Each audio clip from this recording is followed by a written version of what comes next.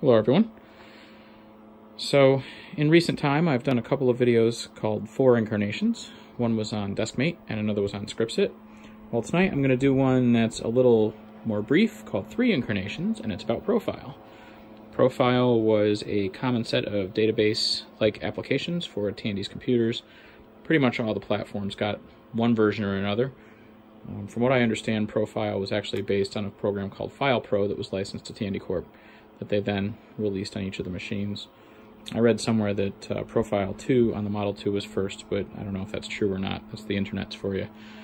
But anyway, I do not have a version of either Profile or File Pro for the Tandy 1000.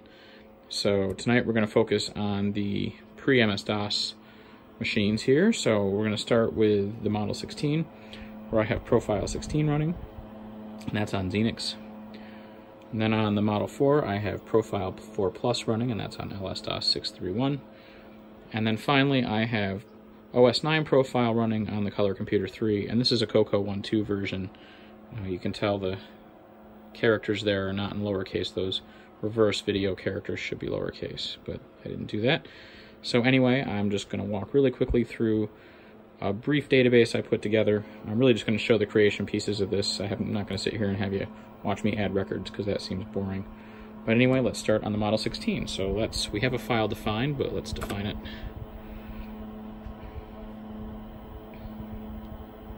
And while that's going, I'll come over here to the Model 4 and do the same thing. We're going to define files.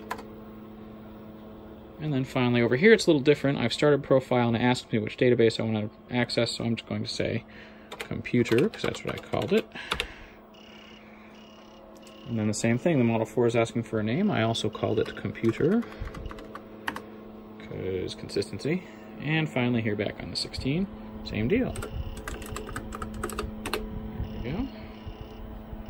I do not want to change the password.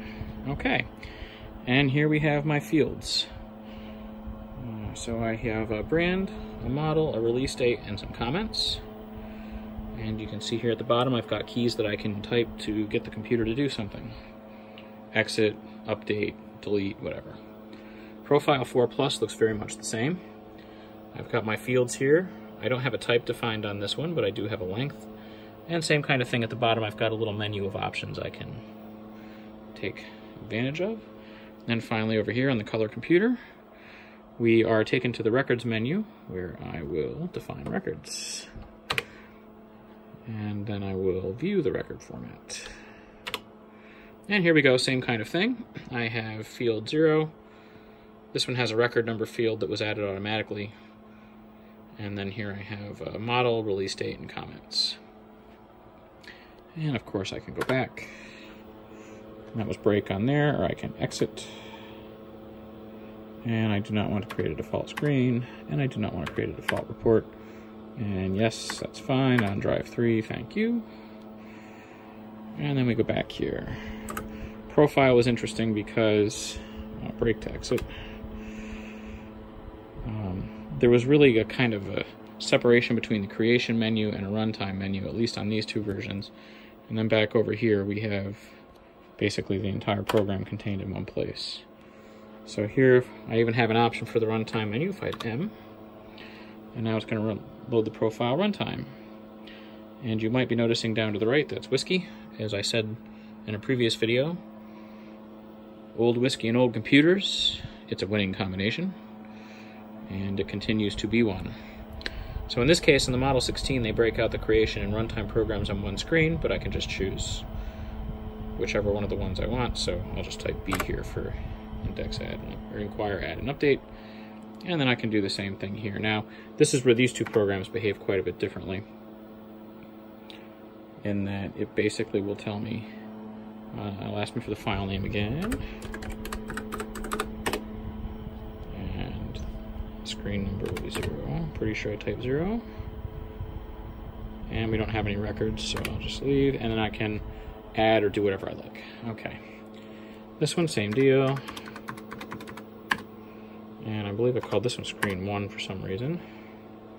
Now this one's a little different because um, instead of telling me to hit break, it tells me to enter to continue. And now we go to the next one. Now here, if I hit add record, not sure why, but when I hit yes, it flashes back. Maybe it's a bum disk. Who the hell knows? Um, over here, of course, if I want to add a record, I can. I can just go to 3. And I can start typing. And then over here on the color computer, I am not exactly sure how to do it on this thing, so still trying to figure out OS 9 profile. The manual's on Color Computer Archive, but I need to go look at it. But really, I wasn't going to get into adding records because who wants to watch me type? But that is